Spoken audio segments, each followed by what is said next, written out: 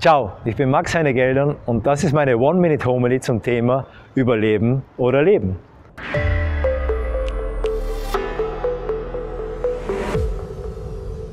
Die andere Wange hinhalten oder sogar meine Feinde zu lieben, diese Worte Jesus sind eine Zumutung und sollen heilsame Zusage sein. Sie stellen unsere Welt völlig auf den Kopf. Wir folgen eher der Überlebensstrategie Survival of the Fittest. Früh genug mit der Ausbildung beginnen. Studieren, studieren, studieren, möglichst in Mindestzeit, keine Schwäche zeigen.